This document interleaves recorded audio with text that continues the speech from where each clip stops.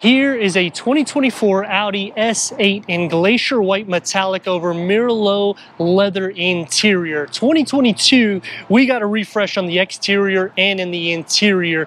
Updates kept going for 23. We got better leather. This year, we're getting remote start. I'm Anthony from Hawkeye Rides, and the largest flagship and fastest sedan is back, going after BMW and Mercedes. I'm going to go over some pros and cons, the comparable rivals, and the problem that I have with the S8. Audi starts off with matrix design LED headlights and daytime runnings that go into the gloss black elements because we have the black optic package. You're gonna have to tick the box for that if you want it to look stylish like this for the single frame Audi grille. Those Audi O-rings, that's another package. The lower gets the gloss black on the side blade and it's going to carry around the whole vehicle. You'll have a bit of a pin stripe and around the window wells, the mirror housing, and above the quad tip exhaust. What's unique about the S8 and even the A8 is the camera that's in the front registers the way the road is to make the vehicle stay as flat as possible. So when you're taking some bends, you won't move in your seat like traditional vehicles as Mercedes or BMW. And what's even more special is housed underneath this hood. 4.0 liter TFSI twin turbo V8 with 563 horsepower and 590 pound-feet of torque. That's paired to an 8-speed Tiptronic automatic transmission. Now you're probably thinking, well, do I need all that power? To get it motivated for a 0 to 60 at 3.8 seconds, yes. And it's faster than Mercedes, it's faster than BMW, and you're still achieving 15 MPGs for the city and 24 MPGs for the highway, but when you're at a price that's around 160 to 170,000 dollars. The last thing that I'm worried about is MPGs. I'm wanting a smooth drive. Audi does that. I'm wanting performance. Audi does that. It's not going to have the Swarovski crystals like BMW, but they have the best lights in the business because of the animated that goes into it. So it does a little dance for you whenever you're unlocking your door, or even when you're locking your door, it's basically saying farewell to you. And the black optic package takes care of you even further because you're getting these 21 inch wheels. It's a 265 35 on all four corners. Black brake calipers housing six pistons in the front. I mean, when I'm thinking about the power and performance, and yet it's basically like a limousine, it's freaking me out. Unfortunately, you do have to add some packages. So we do have the executive package that would still option the 21 inch 10 spoke star design wheels with the summer tires. But because it's a black optic package, we're getting the 10 spoke design wheels with gloss black. That's going to add the adaptive cruise control assist with lane guidance, Audi side assist with pre-sense rear, intersection assist, and traffic sign recognition with the remote park assist plus. Night vision package, we've added that also. So if you're looking to deck it up, you figure it's going to cost about thirty to forty thousand dollars in upgrades. This is going to start around one hundred twenty thousand dollars, and for the first time, opposed to the electric variants, we now have remote start. I am a big BMW and Mercedes fan. Don't get me wrong. I think the S class does a fabulous job with luxury, but when I'm going into performance they're just not going to take the cake. And the same thing with BMW, in which they now, for their electric variant, offer a M70 to compensate because that's how fast this thing is. LED taillights, the lower with the quad tips. I wish these were blacked out, front and rear parking sensors, and a 360 degree reverse camera. You can also option night vision, which we have.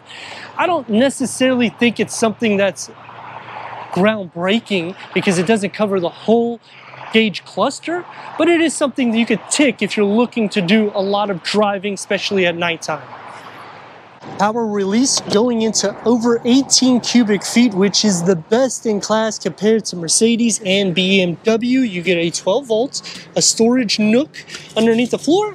You get the spare tire. These are the mats that's going to come with it. And the pillow cushions for the back seat with a pass-through this is not just luxury, this is performance. We need to go inside, start up, so you can hear that exhaust note.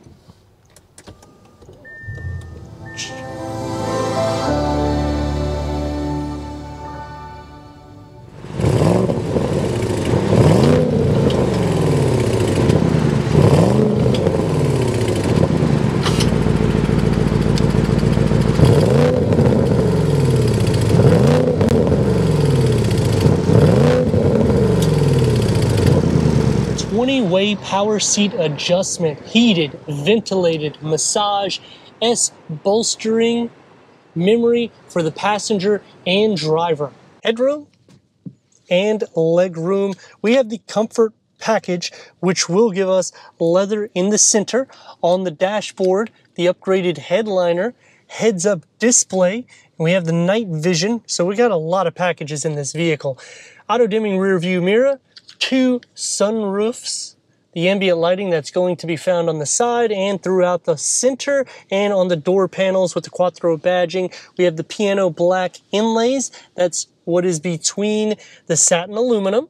And it also gives a touch of it on the grab handles on the top and on the door and through the whole center. 10.1 MMI touchscreen with navigation, Apple CarPlay, Android Auto, Sirius XM, AM FM streaming Bluetooth audio, Amazon Alexa. Click into the vehicle. This is where you're going to find eight different seat settings when you click onto the seat. Also the massage function, which has all these different functions, plus the intensity. Slide it over, and this is the different seat movements that are added that are not found on the actual seat.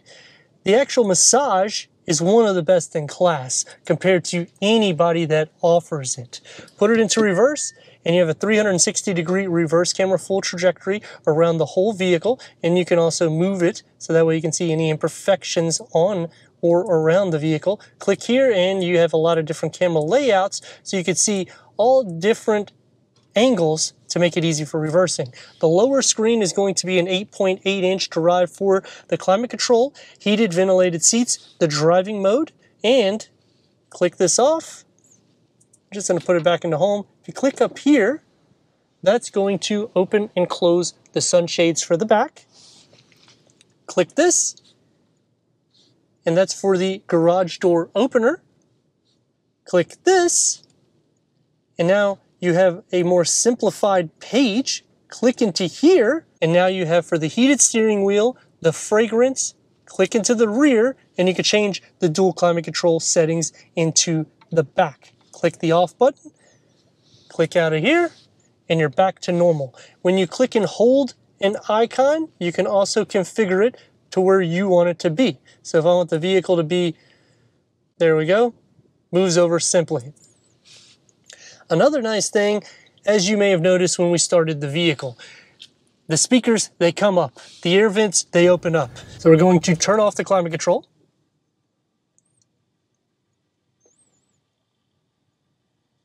and the piano wood covers it, making a seamless cover for the dashboard. And when you turn the car off, the speakers will go back in and they'll deploy when you turn the car back on. Turning the climate control back on, and they'll deploy out. Key fob for the wrong car. And the key fob for the S8. 12 volt. You get the wood inlays. This opens up as a two tier with the Audi phone box and a storage tier with two USB ports. Three spoke leather wrap steering wheel. You get the S badging, multi-function with the paddle shifts. We have night vision, which when you change the configuration of this, you're gonna see it here in a second. It's a lot of different things that you can go through. There it is. And you can expand it for this left side or you can have it just simply in the center. The door is going to configure into the dash and I like how they integrate everything. Soft materials where it needs to be, a storage compartment, one touch up and down for all the windows, and a smaller storage pocket for the back seat headroom, and I have it reclined. You have 10 way power seat adjustment in the back, and these cushions are just like pillows, even though we have pillows. Leg space, plenty of it, and I'm sitting in the front driving both sides get storage. You get the wood and the ambient lighting, ambient lighting here, and a mirror because your chauffeur needs to make sure you look good when you're going out. The climate control in the back, it's pretty cool. It's the same in the front. When you do this, it's touch pad. It'll turn on and off for the center and the side vents, two 12 volt chargers, cup holders. The MMI for some reason has just been loading and this is how you move the seats, open it up and you get two more USBs and a storage pocket with two more areas that you can adjust this seat. So I was basically going on that journey to an airport. Memory seats are also set for the back and you get the power sunshades and you can close or open the shades in the back as well. It's going to be a lot more fancy because this is more limousine style with a storage bin and a longer storage pocket in the door.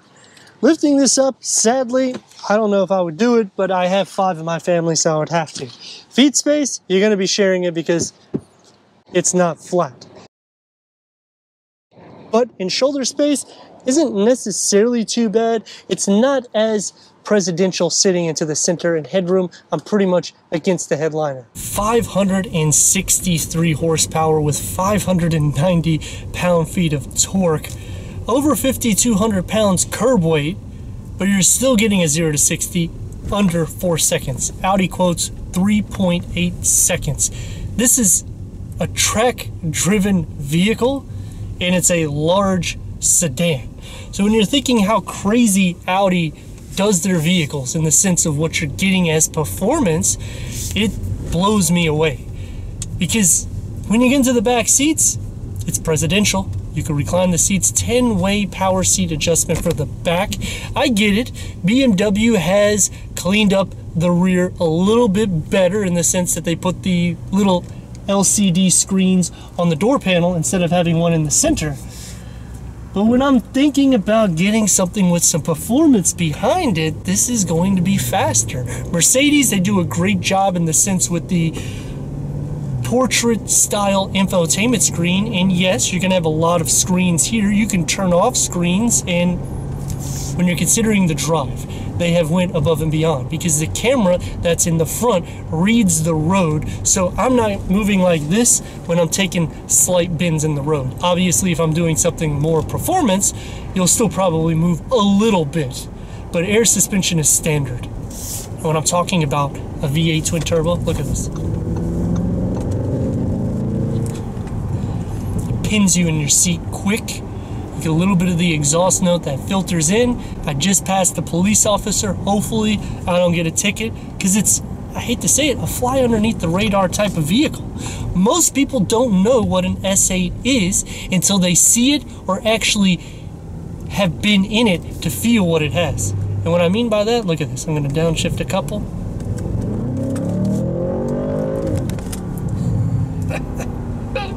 it's crazy. I don't know if I would option the night vision, but it's going to take me into some pros and cons. Starting off with the pros. This is still a family vehicle.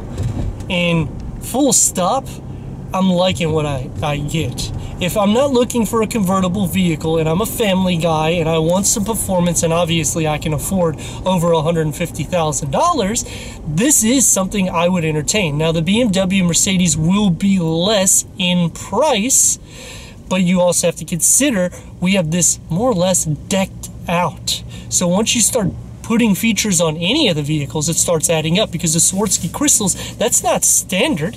You're going to pay extra for that. The upgraded wheels, it's exactly what it is. I like the heated seats and armrest. It is cold. I'm in the state of Florida, but man, today it's been getting around in the 50s. And dynamically speaking, you can maneuver in and out and you still have brakes to stop you. So there's quite a few pros. Some cons, most of the power seat adjustments that make it a little bit more sporty are derived in the MMI, which you have to go into several pages, in which one of those pages is the vehicle page, in which I can see people saying, well, where's the massage seat? Luckily, they have the button that you can click. So if you click that, it will take you into the extra power seat adjustment. You just have to swipe over. But the problem that comes out is multiple clicks on the MMI. And then the lower screen, it's basically the same thing. So it's not as necessarily simplified like they would like. The ambient lighting, they did a good job. It's not too much in your face, similar to BMW and Mercedes. They kind of go a step above Audi with actual ambient lighting. But I'm fine with it. I mean, it's a cool color, blue. I have it set, and I feel more relaxed because this is a car that I want to lounge in, and a car that I also have performance that I could just mash, and it's virtually zero lag. And even though this is a long vehicle, and you would assume it's so low to the ground, the nice thing is you can still maneuver in and out without too many issues.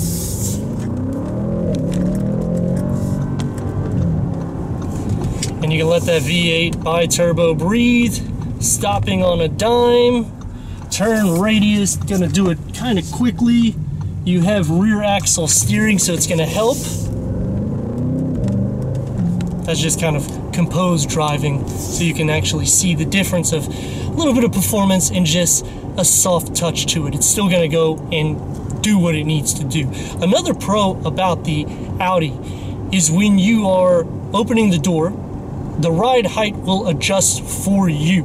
When you close it, it will readjust. So it's constantly trying to find that chauffeur feel because when I'm thinking Mercedes Benz and I'm thinking BMW, they both went through a refresh. Yeah, it might look a little bit older in some cases, but I kind of like to fly underneath the radar so I'm not getting a ticket because like I said, I passed the cop, I was going pretty fast, and he just let me go because he was thinking, uh, that's just a regular Audi. He had no idea what was underneath the hood. But let me know your thoughts in the comments. And if you're new to the channel, consider subscribing. Check out the next video, merchandise, website, and Instagram. Leave a comment and a like. And I'd like to thank Audi Tampa for giving us this 2024 Audi S8 for our car review. And at a rolling start,